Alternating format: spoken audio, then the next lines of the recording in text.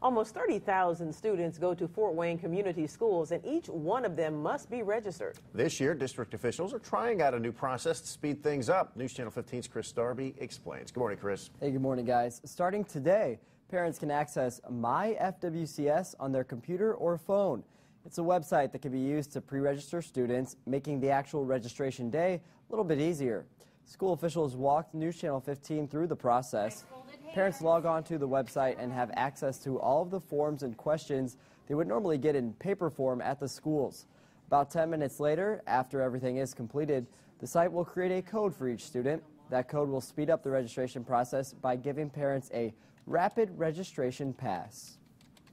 Having just uh, been in a building uh, last fall for registration, it's exciting for me because I know one of the biggest frustrations for parents is coming in and immediately, you know, being in a hurry, you know, I'm trying to get through this process as quickly as possible, being handed a packet of papers and trying to find all the information you need to get th those papers done um, as quickly as possible so you can continue to move through the registration process. Now, parents have the ability to do that from home where they have that information already. This early registration process is only open to families of returning FWCS students. To pre-register a new student, you'll need to go to the just opened Family and Community Engagement Center. That's on East Douglas Avenue in downtown. You can find a link to the online registration in this story on WANE.com. Pat? All right, Chris Darby reporting. Thanks for that, Chris.